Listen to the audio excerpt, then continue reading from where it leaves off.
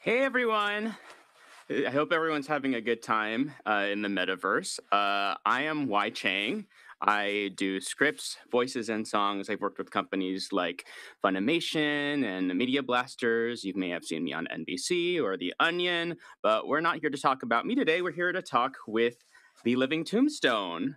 Um, and I guess you guys can introduce yourselves. Hey, hi. It's nice to see you and you. Yeah. we are we're in different boxes, but we're not we're not we're not in different boxes. Yes.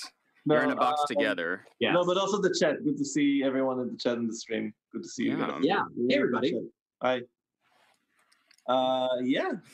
So why don't we start off with some introductions? I told the chat who I am, but who are you guys in case Yeah. people don't already know? Yeah. So we're the Living Tombstone. Hi. Um, this is Yoav, and I am Sam, and together we're the band. yeah. Um, we we met and started working together three, four years ago. Something like that. like we, that. we started three years ago because we met together at the karaoke party because voice actor friends who yeah yeah we out. did we met together at a karaoke party Yeah. um which is very on brand for both of us i feel Yeah, um and uh yoav is the person that a lot of longtime fans of the living tombstone may recognize from back in the uh the early convention djing days and whatnot different fandoms like the Brony Times and everything. oh the uh, brony times The Brony Times. No, the, well, basically, it's um. Uh, the horse times uh, it was a big chunk of my uh, the start of my channel and everything. I mean, so it was created nine years ago, and the entire purpose was basically to explore this different like fandoms and everything on the internet. I mean, I was already into video games, so joining the internet wasn't that far off from my head. Basically, I mean, same goes to a lot of people anyway. So yeah, basically crazy things because it's like an internet band, but it's always been an internet band because I was already on the internet. the right very yeah beginning. yeah this is this is very much an act that is born and raised in the internet and hi well if you don't if you don't know us because we're so very much an internet thing Yeah. this, this is us Yeah. It's maybe just two of us, but if you haven't checked out our channel before, it's basically it's a it's a very it's a music video oriented thing. yeah it takes a lot of people So Yeah. yeah, that's basically as we're the as we're the introduction. main doing yeah, that's as far as intro- introduction goes, I guess. You guys are the face of the enterprise, yes yeah there we go right? Yeah. And I hear you on like the whole being on the internet and being into video games things. I actually I feel like the first time that I met you Yoav in person was when Splatoon just came out, and so that Oh was yeah, and we played it. Oh my god! And we Yeah. you had a game that was worth playing. Oh my god! Uh, right. well, no, because the Wii U, but um, that's a small tangent. But the Wii U was an amazing console, but it took it, uh, every time a good game came out, you just finished it and then you just waited for the next good game to come out. That's yeah basically Yeah. what Wii U. But anyway, sorry. No, no, no. It was the Wii U was a little engine that could, and then it couldn't. But it's I have to say it's been really interesting knowing you as someone you know who was doing songs about Splatoon and you know uh, fan songs about like Five Nights at Freddy's and other like other like pop culture um, gems. And you know, fast forward to now, it's been so interesting to see this new album Zero One, and it's so Oh. different from your past stuff. And I guess one of the things that I wanted to ask you next was just like what we can expect and what this whole thing is. okay so um i guess this is kind of a, a good segue of from like you know splatoon and like the gaming related content. Um you know so much of the history of the act has been about like taking a fandom that like we're a part of and that like is content that we really love and lore that we really love and characters and a whole world that we're invested in. And and part of the mission of the album was to see what we could do with kind of a world of our own.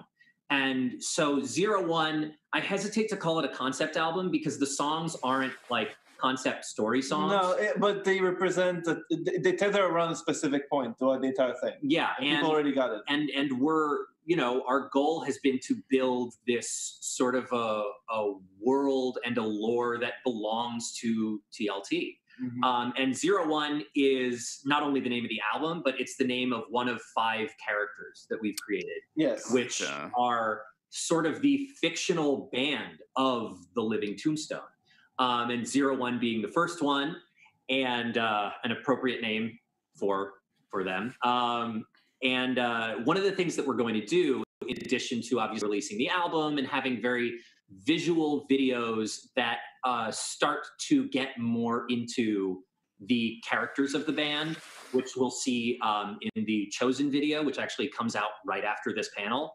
Um, uh, we're we're going to start having little video introductions to each of those five. Um, and in fact, uh, you know, we have a we have a Yes. video clip uh, today that will uh, come out in a week on our channel. But we figured we would play it early for you here, anyone watching, so that you can uh, meet the character of Zero Yeah. One. You thought So it was just gonna be a Q&A? Nope, you're wrong. No. We're gonna there's- have we've stuff to also got you. content. Yeah, we actual content. So this is uh, this is an introduction to the character of Zero One. Let's let's play that. Yeah.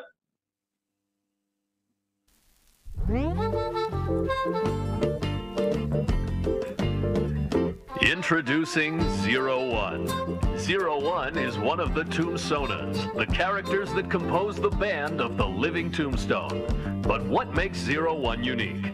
Zero One is inspired by the birth of the digital age in the 1970s and draws its name from the invention of binary code. Like all tombstonas, Zero One is an ageless entity that has bonded with a series of extraordinary humans throughout history.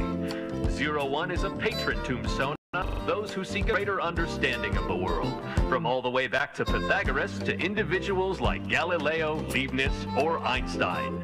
It is this keen sense of mathematics codes and formulas that connects Zero One to people who turn formulas into art. Composers. In The Living Tombstone, Zero One is a music producer and vocalist. Zero One's personality is very playful, and it functions as a ringleader to the Living Tombstone. Zero One exudes a childlike curiosity and is very energetic and positive, though prone to loneliness when nobody is around. But not to worry.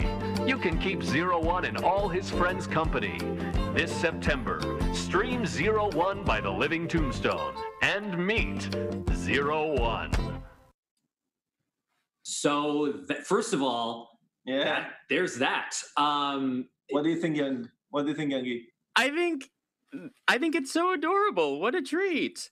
I, I love that you have that little skull motif not just on uh, them but also on the rest of the band. It very much is a throwback to your own logo for the Living Tombstone. Oh, very much. Yeah. Um, and you know, I I think this weirdly ties back to the intro, uh, which like yeah, we took our time introducing ourselves, but that's kind of the point. It's kind of hard to define what we are to the Living Tombstone. Mhm. You know, yes, like we are the Living Tombstone, but yeah. to to a degree, it's almost more accurate to call us like the writer creators of the Living Tombstone in Mhm. that you know where we're going with this really is like creating our own musical world that people can explore and that we're kind of just the the writers for Right. No, because Right. the idea behind all of it is that we're just we like to create entertainment. I think as a whole because we just we, we already come from a background of creating things that are just beyond just music, yeah whether it's video games or shows or anything like that. And that's why I think like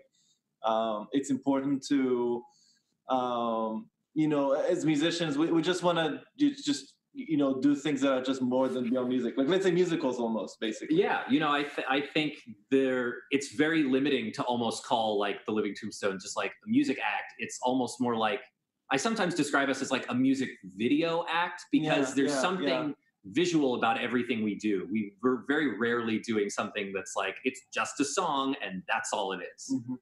Right. I was gonna say. Um, I remember earlier, you Sam, you said you hesitated to call it uh, to call Zero One uh, a concept album, but I feel like because you are building a whole universe, you are very much like Boublil and Schoenberg to to you know throw out a really weird musical theater reference. You're making like kind of Les Mis, but instead of on stage, it exists out there on the internet, and there's something Yeah. really really cool about that.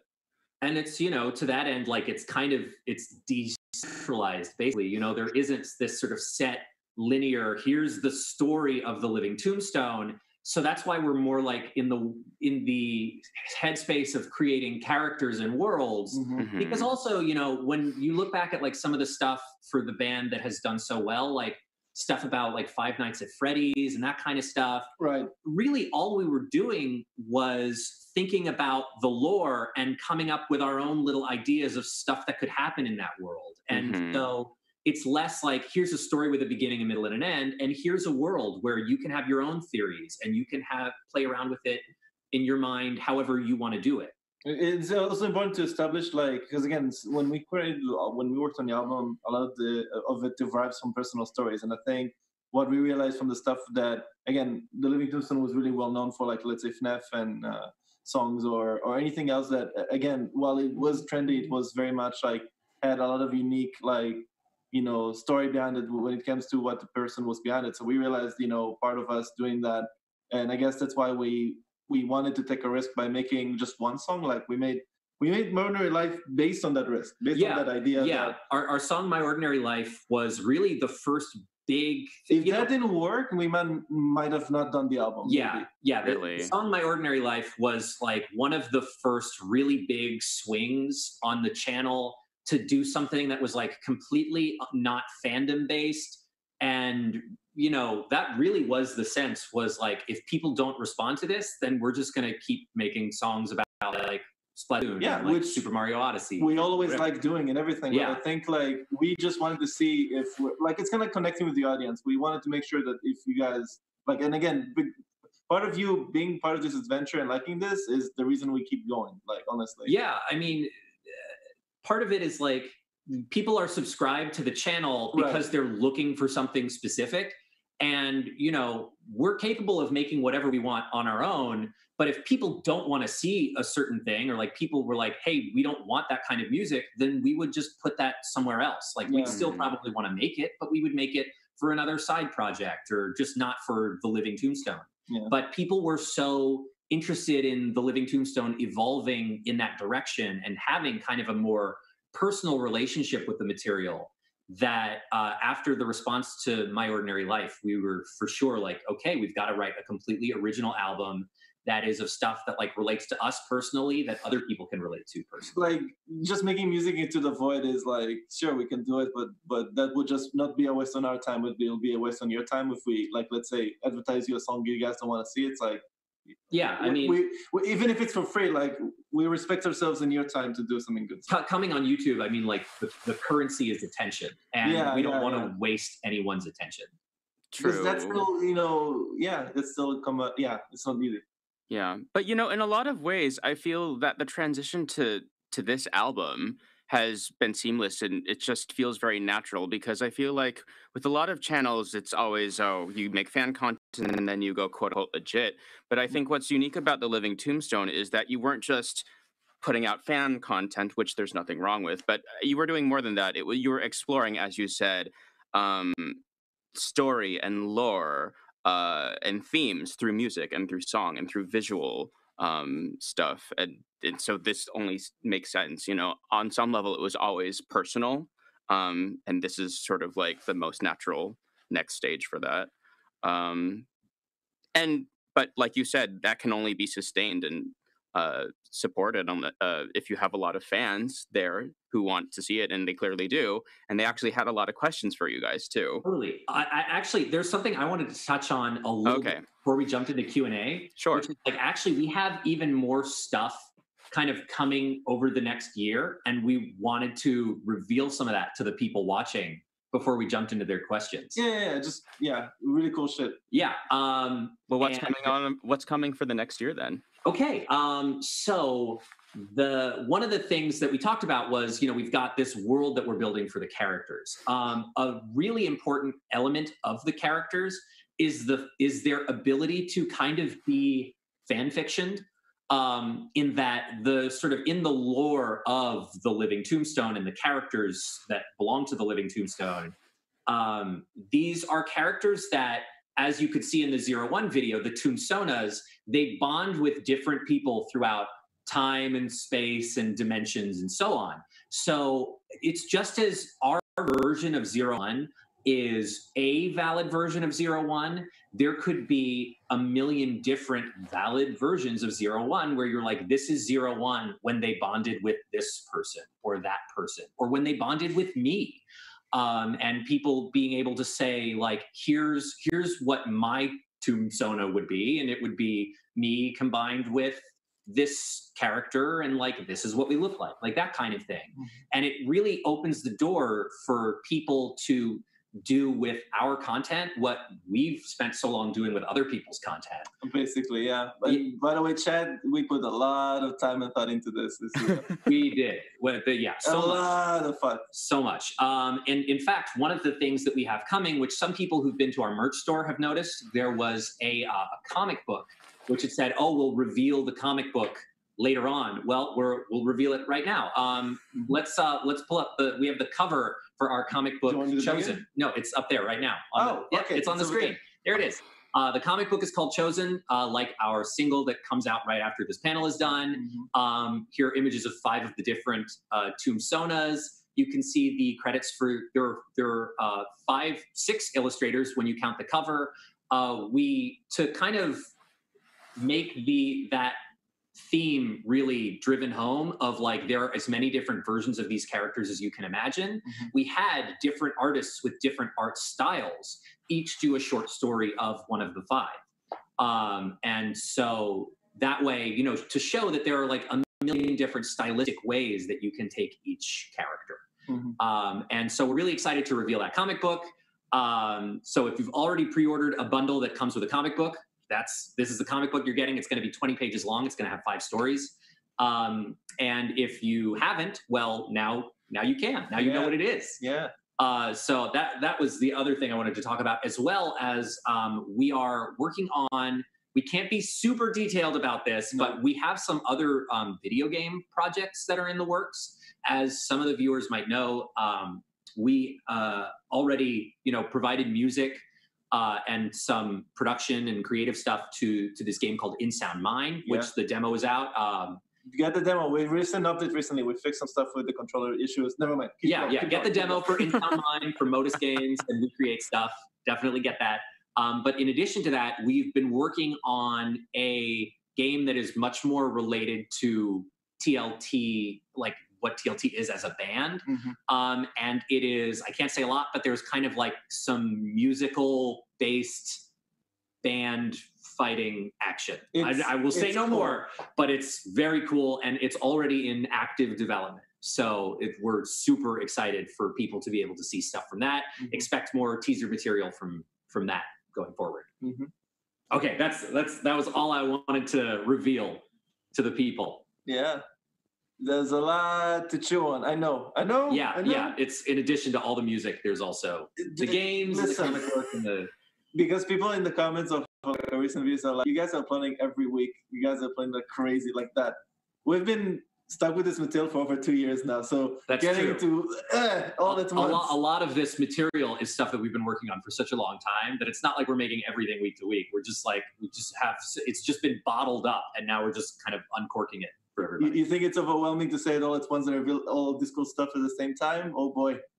I was gonna say, like, I I mean, I'm supposed to be the mature moderator over here, but like, I'm also secretly like fanboying inside because you're spoiling us with all this great stuff that you're gonna come out with. Um, it it is interesting though. So, like, can we move on to the Q and A yes, now? oh, totally, totally. Okay, cool. Uh, because you you guys remarked on how you have had a very like steady, quick, consistent output. And uh, we have a question from Alex. He wants to know how do you make songs so fast?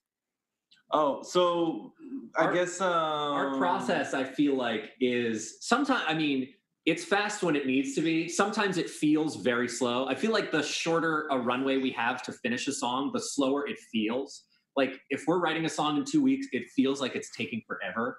I feel like in general, okay, I, Yeah. I, I say the proper. I mean, you you kind of touched upon it anyway, but but I think the way I see it is that songs take time. Depends on how easy it is to translate it to an idea that people can agree on in the end. Because uh, there's a lot of situations where, let's say, fandom songs, like let's say Alice's game took a long time, Alastor's game, yeah. and it was really hard song to work on because it we needed to understand that people want, will want to see, but all of them are people that already know who has what is going to tell us already, and they know who Esther is, and it's going to be weird for us to make a song that's not even going to match him, and that's why we needed to play with it a little bit. Yeah, yeah. I That's mean, why the verse fit him, but the chorus was different because we wanted to illustrate a point about the character. yeah yeah i mean fandom stuff is can be can be a lot harder than the original stuff in that we are, you know, it draws a box around the creative, and we're as easy as it would be to just like point at a game on a wall and just like write some silly lyrics and like release a song and then people click it just because they're like oh i know that game when we release fandom stuff we really do want the fans to have a sense of like oh they actually care about this Yeah, or yeah, like yeah. this they've actually spent time and invested in this property emotionally or mentally uh, so you know it's this is becoming a very long answer to alex's question Yeah, But, but okay. but it's about building trust. Yes, yeah. And Oh. our our our song process is very simple. Typically, y'all have voice notes, a melody. Yeah. Then we talk about uh, uh, a theme lyrically, where it's going to go, uh, and then then we work on the music track. Yoav produces it. I write lyrics, uh, sing it, and then it all comes together. By the time we have sort of a structural sense of what the song is, how long it is, where the verses and choruses and stuff are, that's when it goes to the music video people. They often don't even have a finished song they're working off of. Mm. Like Love and Need was barely finished, but we still knew what we wanted it to be. So Yeah, yeah, they were they were building the the video off of a demo actually. yeah, yeah, Yeah. yeah. Mhm. But that's that's how it goes. You know, it's a content machine. Mm. Yeah, So it's- it's- Sound, you make it so it's about trust and it's also about like what you said earlier it does take a village if you Oh, have yeah. a team Yeah. of people then that Yeah. kind of helps things along right We didn't even get, get into the video stuff, which is a big answer in its own right. But Mm-mm. primarily animators, the way we work with them, song can be half finished or something, and and and it, it differs from person. Yeah, to as long as the timing of the Yeah. song is finished, the song the track itself doesn't have to be done. And so normally this really changes. we're on such a compressed schedule that they need to work on a on a half done track in order to have a video done in time. Just because like we're trying to get stuff out at such a fast pace these days. Yeah. yeah, and then video sometimes takes time, sometimes it doesn't. Mm-hmm. yeah, I we mean, just need to work with the yeah. animator. It depends on the situation. Totally, But it's very collaborative. that's that's yeah. big answer, but that's basically why it's so complicated. Thank you, Alex. Thank you. yes um okay we've got another question from Draki 1769 which is actually a really good question because we've seen the zero one reveal trailer so we have an idea of what a tombstone is or a tombstone might be but they want to know where does the living tombstone come from as the name As the name. So I me. Yeah. Uh, it came because of I was um I, I was at a certain period uh, back when I was 19, 20. I was like very much into watching just different kinds of anime.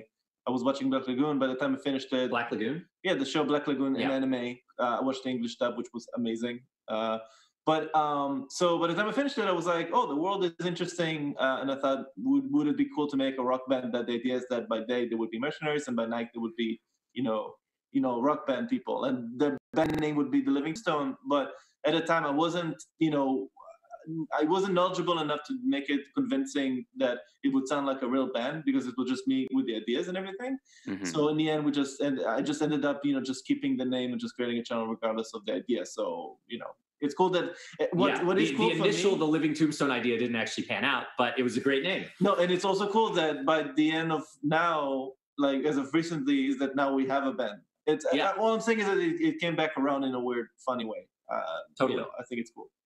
I mean, things happen for a reason. That sounds awesome. Yeah. Um, so a bunch of people want to know uh, who is the guy in Drunk? Uh, His name is Drunk Guy. is just fun That's I I promise you that's the answer. That from the very beginning, his name was just Drunk Guy, and uh, and that's his name, and that's that's who he Sam is. and I talked about this a lot actually about this idea if we need to give him more meaning, but in reality, just drunk guy. I think it's important to focus on more the message Yeah. on the. And I think keeping him vague is also just like drunk is a song that if if you've ever just like either dealt with some kind of alcohol or not, just like some kind of thing that you can't stop doing because it scratches an itch for you, and it might be kind of an unhealthy habit, and it might derive from like some kind of insecurity or self esteem, whatever, like that kind of thing. It's drunk is a character that's supposed to relate to a lot of people. So being like, his name is Greg. Here's his backstory in the beginning, in the middle, and an end. It it don't it seems limiting and it makes it almost less relatable. Right. Um, and so he's just drunk guy. yeah, what's important is the message of like what we were trying to set. I think Yeah, it's yeah. what we wanted to focus on anyway. Okay. Um, all right. We've got a question from Meep, and actually, other people asked this too. Yoav, are you still a brony? Uh, I think that I am um, because of the fact that it shaped my career and my life in such huge ways that I can't like thank the the fandom and and the things that I pursued as positive things in my life like so so greatly. Um, I don't know if there are any fans of um, Jenny Nicholson's channel who are watching this, but I actually I saw you cameo Mhm. for video. Yeah, I saw that too. Yeah, It was yeah. an There's amazing yo, I'm signing autographs like a superstar. and I was also singing like some of the songs that I created for one of the brony song contests that I used to be in called Toastbeard. And what's crazy for me, and, and that's why I think for me, uh, being someone that w- was in this very big period for a very long time of my career, you know, being a brony and everything, I think like, um, no, it's special. And, and and looking back at it, I'm like saying I, I'm, I'm, I, it couldn't have happened in any other way. Like I think it was perfect that I was part of it. So that's why I still consider myself a brony for that reason. Um, For those who don't, I, It's I'm crazy. actually, I I'm, I'm looking. I've actually got the chat up right here, uh, and I saw someone's like, "What's a brony?" It's Google. brony is Go- just turn on safe yeah. search and give it a Google. Uh, safe search is important because again, um, but that's fandoms for you. It's like yeah, you- you that's that's what find- happens. Don't worry, but we It's don't not have to talk exclusive to about it. bronies. It's fine. Everyone has a crazy, you know, you know. It's always Don't worry There's about it. crazy fans everywhere.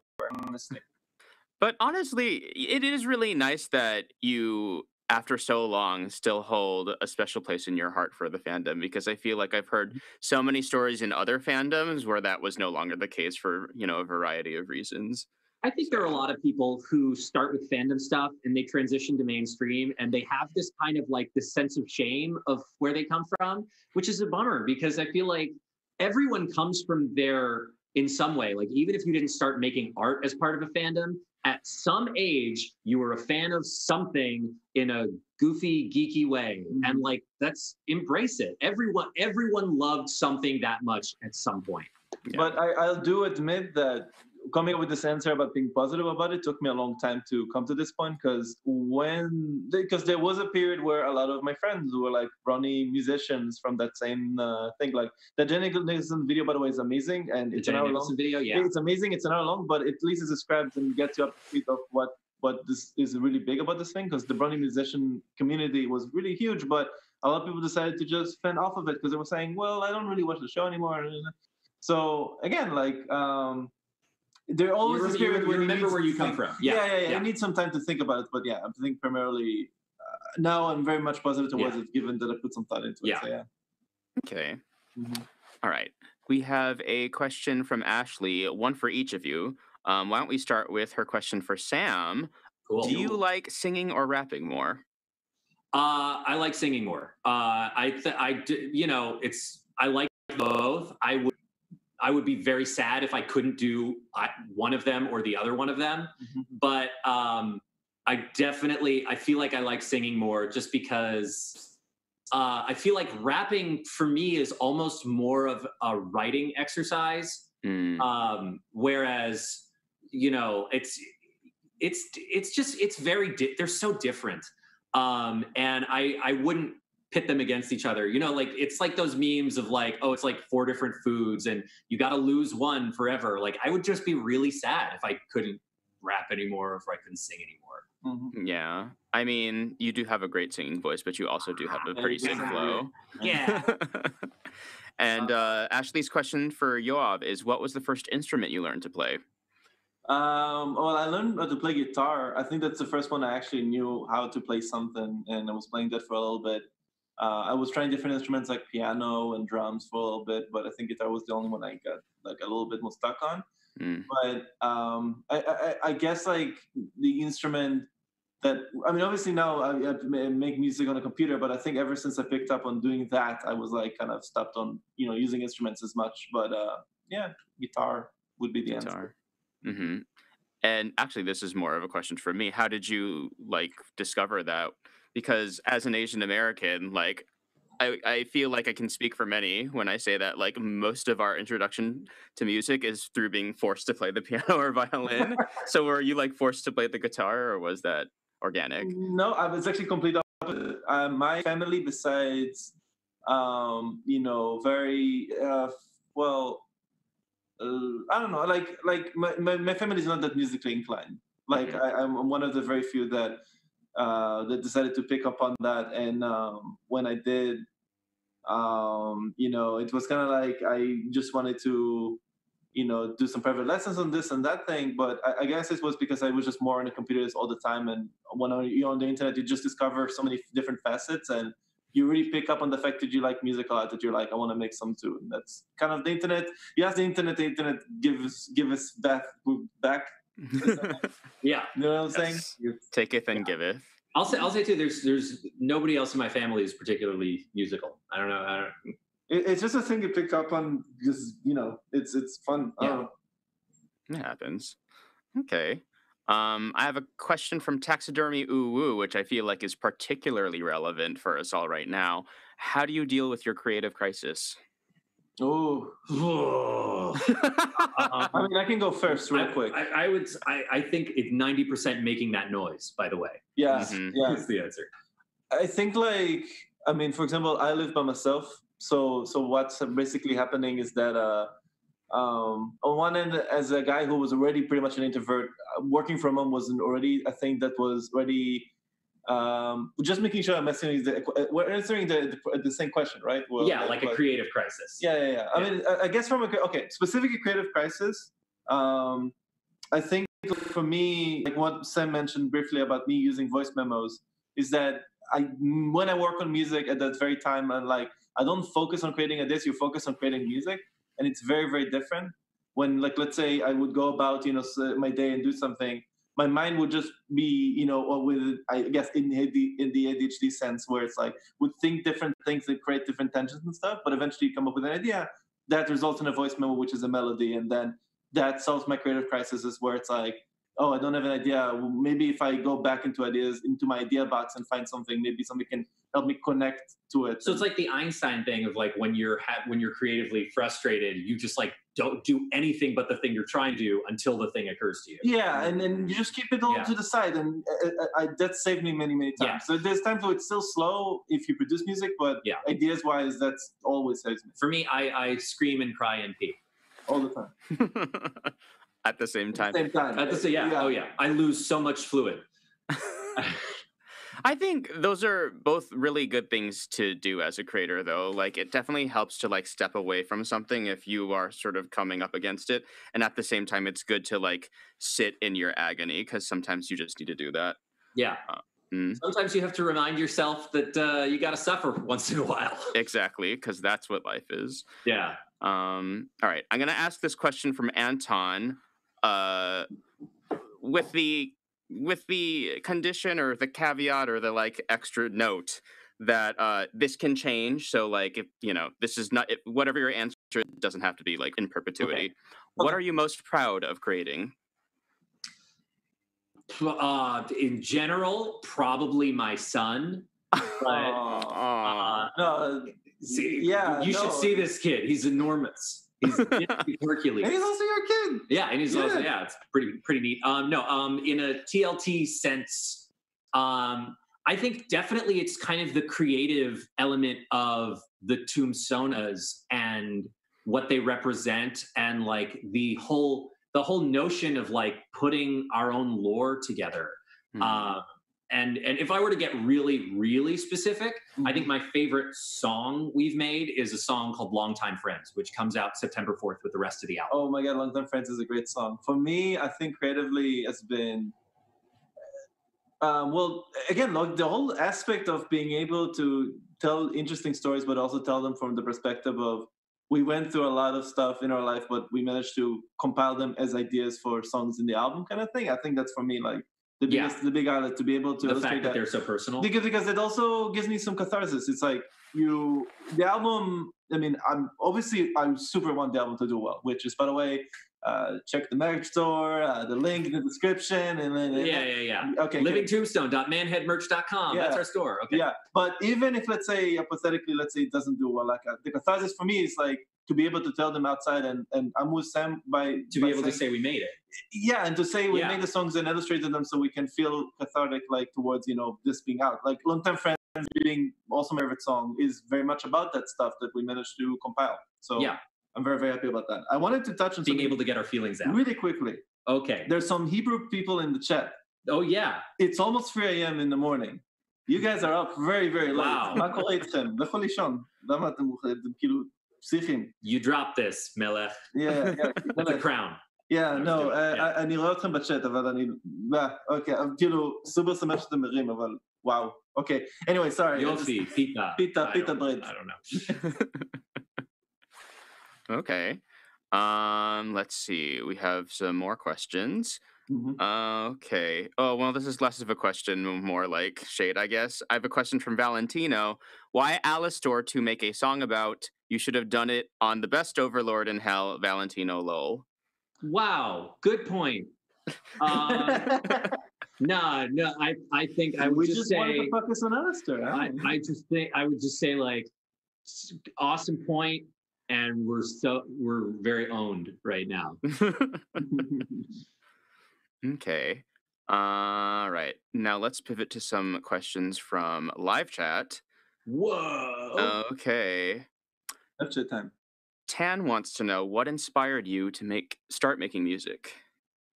That is a great question. Um, for me, I came into music um, sort of accidentally.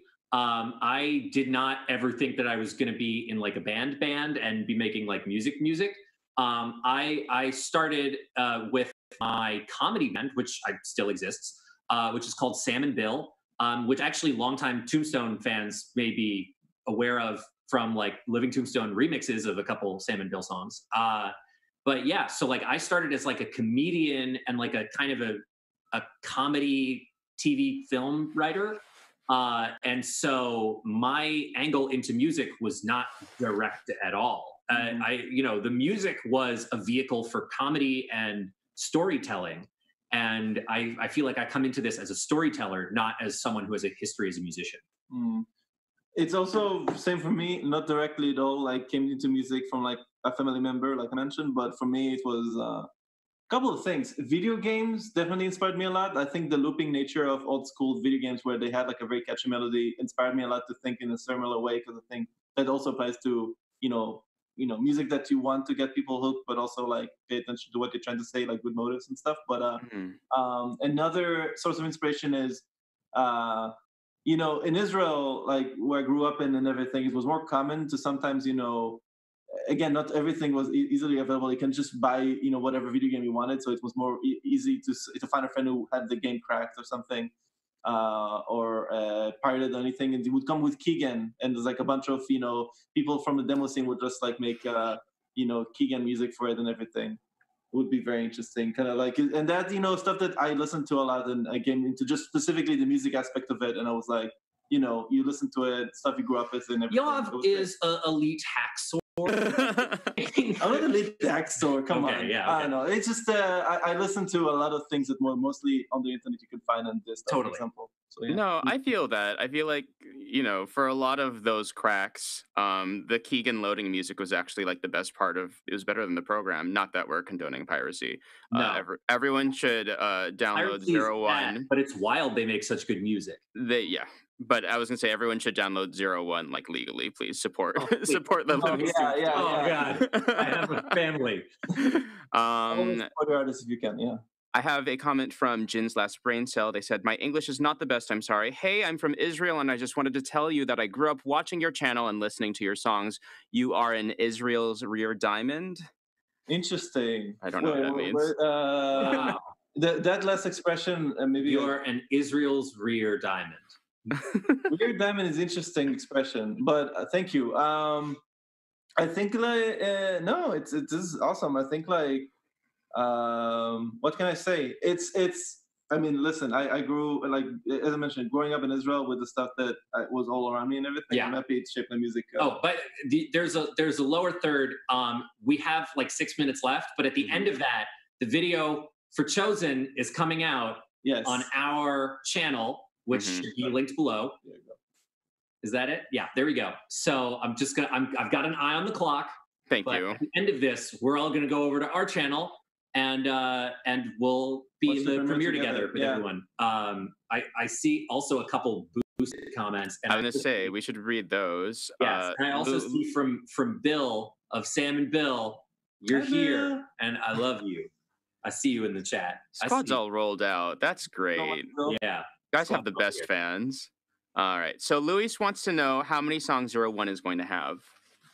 Ten. Ten, just ten. Yeah. Ten. Great. All right. Um. Oh, this is an interesting question. Uh, Galex Poju wants to know: Do you guys use your previous work as an inspiration? Previous work is inspiration. Yeah, Yeah. Yeah, I'm very I'm very uh, inspired by myself.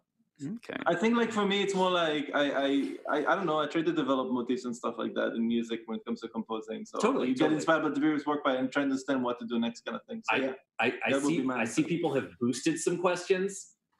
Oh, and- okay. Have they? I only saw the one. What else Yeah, do we I have? see. Is this the is this Yoav's album production beard? no, this is you have uh, COVID nineteen beard. It's Yeah, it's- it's a different beard. yeah.